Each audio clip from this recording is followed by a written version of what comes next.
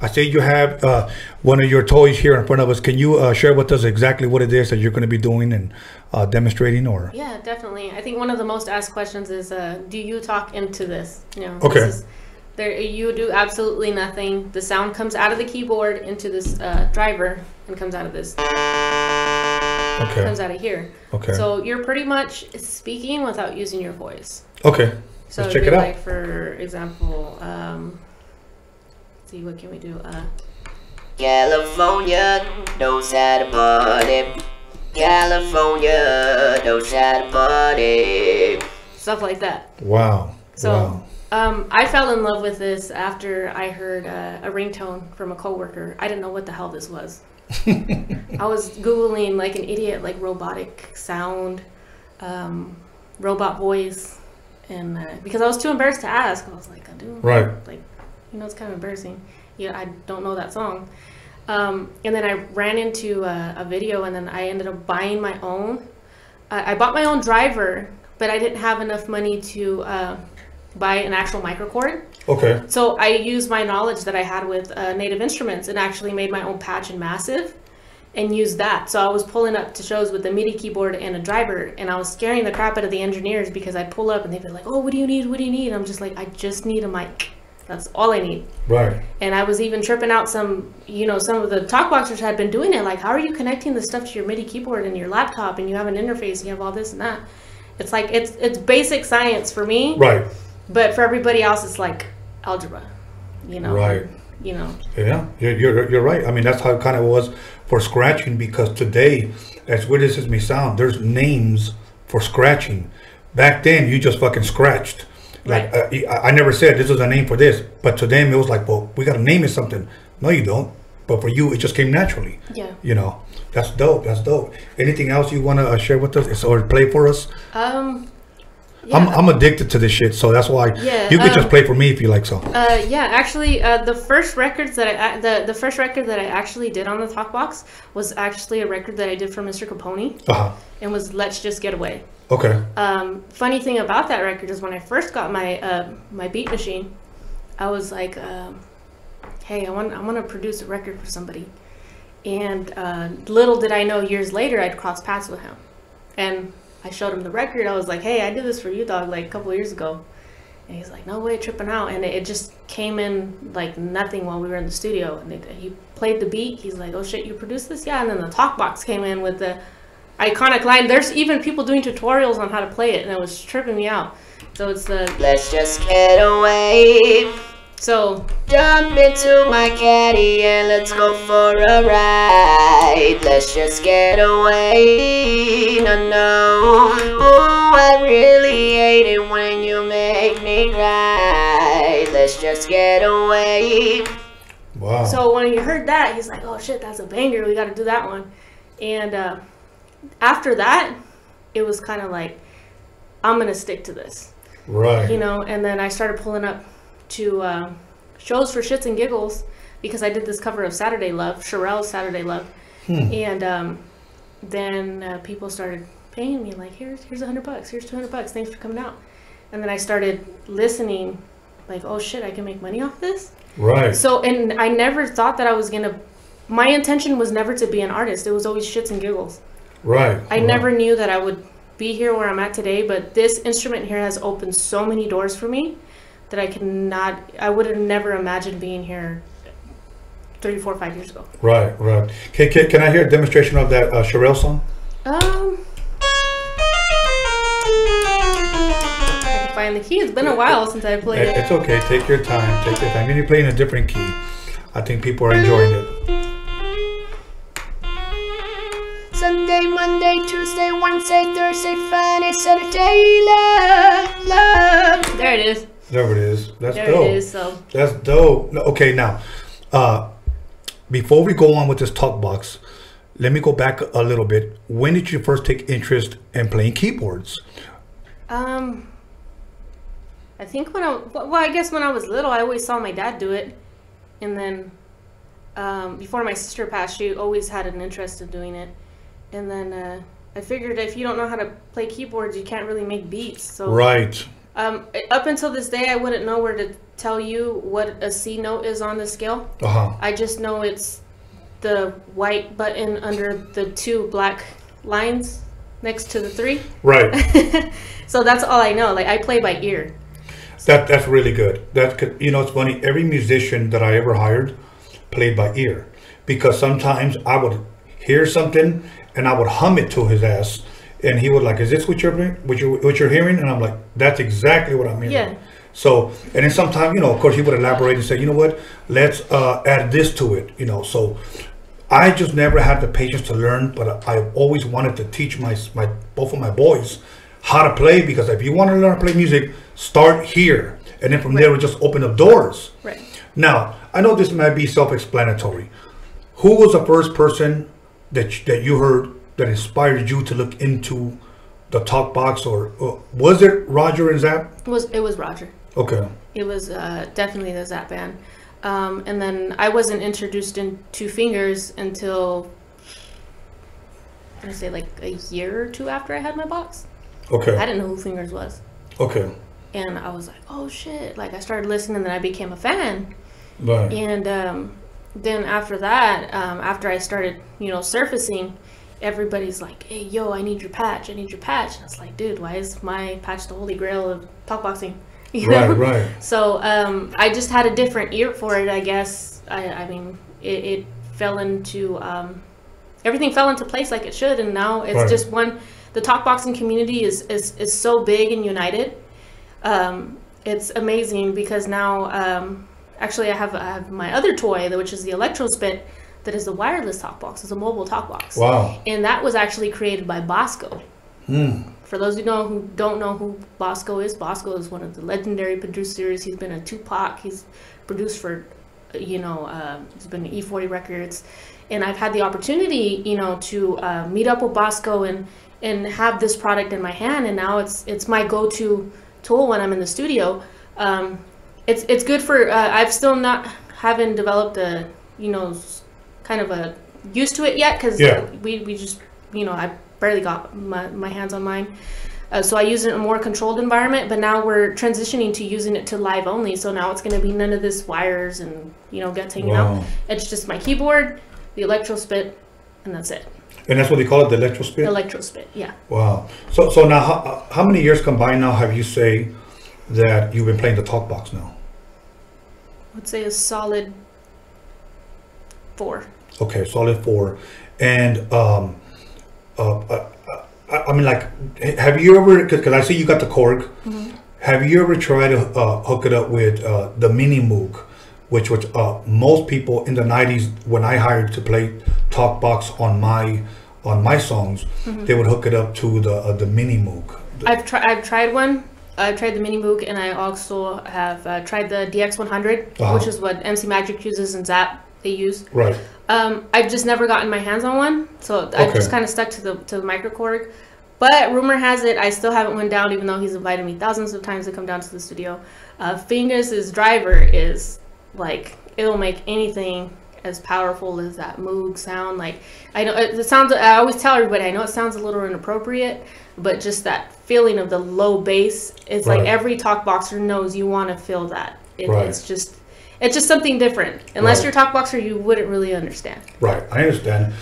I know three people that Roger made them talk boxes for. Uh, Sir Jinx, uh, DJ Quik, and another guy by the name of Fredwreck. Uh, he did a lot of stuff for Dogg Pound. Uh, Fredwreck was one of the first guys that I got to play talk box on one of my songs. That was in 1997. I did a song for Mellow Man Ace, and it never came out. But I still have it on actually on two inch reel and actually on that machine, uh, that tape as well. But uh, all of those guys played it on the Mini Moog. The thing that it was it's hard about the Mini Moog because Roger, as you can see his demonstration, he knew all the oscillators, he knew all the sounds, and it's it's really to me. I tr- I, I had bought I collected Mini Moogs. That's, that's why I asked.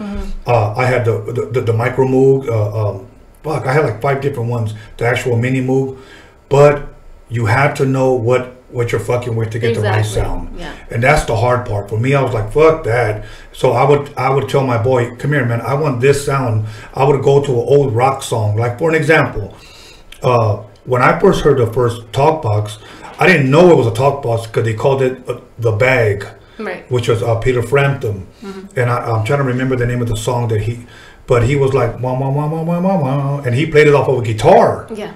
And I thought that shit was so fucking dope. You know, I didn't know what it was. And then later on, 1980, I heard uh, uh, More Bounce. And I thought that shit was fucking insane, you know. But uh, now, uh, let me ask the question that a lot of people may know or may not know. Uh, how did you get the name uh, Magic Girl? Um, it all goes back to shits and giggles. At that time, I was dealing with uh, with a person um, was actually uh, the cause of a lot of uh, drama and downfalls of my career. Unfortunately, um, we were in the studio one day. We like, hey, we got to get a name for you, and uh, we're like, uh, okay, and. Uh, it's not really, you know, not to talk shit about anybody. This is just what happened. Right. And uh, he said, uh, "Let's do uh, MC." What he said? He, oh, A- MC Sugar Fingers or something like that. I was like, "Fool, you're fucking retarded. Like that sounds so stupid." And then we ended up coming in with names, and then um, I was like, "Dude, let's just do Miss Lady Magic." So I was formerly known as Miss Lady Magic prior to being being Magic Girl. And for those of people who are really true Magic Girl fans, know that. Um, and he's like, yeah, so it'll be like, yo, he's like, yeah, that's a good idea. It's a mixture of everything, like Miss for the Miss Lady Pinks, and then the Lady for, um, think it was Lady Shy or something like that, some rapper. And then the Magic for MC Magic. I was like, no, dude, like it's just, it just sounds cool, you know. And that's how the name come apart. And then it was just a joke. I never took it seriously, but he started telling everybody, yeah, that's that's Miss Lady Magic. That's Lady Magic. And then so everybody started calling me Lady Magic, and now everybody just calls me Magic. So after um, I signed over to uh, Hi Power, uh, we were gonna change my name again because unfortunately I got screwed over, you know, copyrights and stuff like that. They ended up buying Miss Lady Magic, uh, so I couldn't use that name anymore. So we're like, let's change your name. And we were thinking, we were thinking, and then we ended up coming up with Magic Girl. And um, you know, uh, Capone was like, hey, you know, let's just let's run it by Miss MC Magic out of respect. I was all right, we can do that. So I text him, and he texted me back immediately. He's like, yeah, Mija, there's nothing. I was, I just want to make sure, you know, because I, I really wasn't trying to use magic at all from the beginning because Right. I didn't want to seem make it seem like I was trying to build a career off of something he already did. But in a way, it made sense because it's kind of like, okay, everybody knows magic for TalkBox, so why not be magic, you know? Right. So and then everybody was already calling me Magic, so it was kind of hard to go from Magic Girl to like something different, like example, just Lady of Rage or some some crazy rapper name, you know. um, so it was kind of hard. It always just stuck with me, and I kind of just got stuck with it. Okay. So that's how that came about. So so so when you started like, uh, you know, it's funny because I have my boy Battlecat, uh, DJ Battle Cat here. Much love and respect to DJ Battle Cat. And I asked him, was it hard to keep that in your mouth? And he told me this. He said, you know, I was told that try talking with the straw on the side of your mouth. He said, so I literally did that. He goes, and then when I put it in, he goes, after a while, it just became second nature. Like I just, you know, I had no problem, you know, doing it. What, what, was it hard to adjust in talking to to it? Um, uh, it, into it? yeah, it was. I had to do a couple of uh, adjustments and modifications for it to fit my mouth, because every every your your mouth is an instrument. So no, if you were to get jump on this today, you would sound different than I would. Nobody Yeah. will sound exactly the same, and I think that's the point that everybody misses. Like I will never sound like Roger. I will never sound like Fingers. Fingers will always be Fingers. Roger will always be Roger, and um, so I had to kind of adjust it to make it my sound, and that's what I have today. It's my sound. Okay. Now, uh, uh, when you decide again, you said shits and giggles. That's how you started, it, and then shit started working. People started paying you for it. Was there ever a time uh, since the time you started that you started looking into? You know what? Let me look up some of the greats that might have played this before, other than Roger and Zapp. Did you do your your homework? Yeah, on- that's when I started running into like Peter Frampton, and then you know I, I ran back to, to history. Like you can even hear it in Disney's Dumbo, Hmm. the talking voice box from way back before you know 1980s. And a lot of people don't know anything more than Roger. Roger has been so iconic to the talkbox Yes. community that's like all they know is Roger. Like Roger invented it. Like no, before Roger there was Peter Frampton. Before you know, and before that there was Stevie- there was Stevie- Stevie Wonder. Yes. And you know what's crazy is Stevie Wonder has actually demoed the Electrospit. So the Electrospit has been in a lot of hands of a lot of people that I would never, you know, Wow. imagine. It's just mind blowing, and um, it's also mind blowing to know that the, it's it's such a united community, and it's really cool actually to to be a part of that family. And I've I've had a lot of love and support from the from the Troutman family themselves, Really? which is really cool because it's you know somebody like little old me, it's, uh, nobody, you know, it's getting getting a lot of love and support from people who are actually established. Okay. You know what? Uh, do, do you mind getting your other toy uh, uh, ready and give the people yeah, sure. a little demonstration uh, of, of your toy? And once again, uh, this is something else. This is, uh, if I'm correct, wireless, or is that what you Just said? mobile.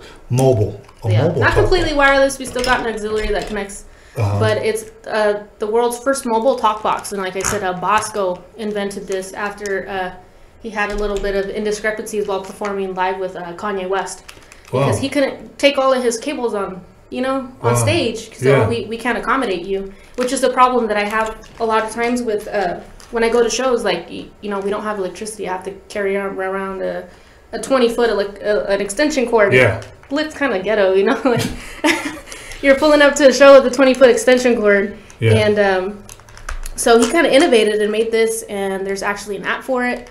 Um, it's it's really cool, and uh, he's customized it. So you look here, you get you can do two colors. You do the red, and then you do blue. Okay. So and that's just for show. It's, Right. it doesn't do anything like fancy or anything. Right. And, and how long have you had this? I've had this. See, when did I run into Bosko? I think I picked it up from from him in Oakland.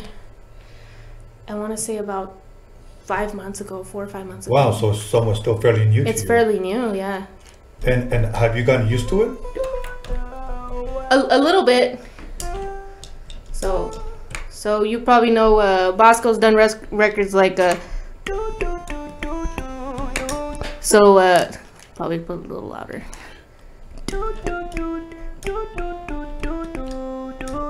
Like the workout song. So a lot of people don't know that's Bosko. That's Bosko. Wow. So wow. um, So this is uh, just for the people that are watching. Nothing goes in your mouth this time. no, Th- This is just uh, on. Uh, I guess it's rest on your neck. Yes, it rests on your neck. It goes between, um, in the soft spot of your neck area, Uh-huh. between the, the, the major bone here down here. Uh huh. And it actually explains the science of the talk box fairly well, because a lot of people think, like I said, like you're you're talking like no, you don't talk into it at all.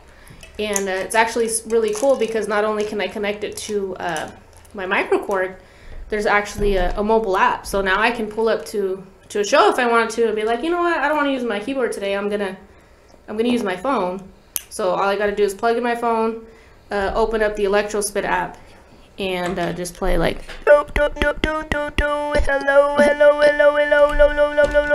So it has absolutely everything Wow. that I would use. You just got to know how to use your phone. It has all of the major scales. You can do uh, modulation, everything. Uh, you can transpose, you know, change your octaves, change the buzz and stuff like that. So it's actually really cool.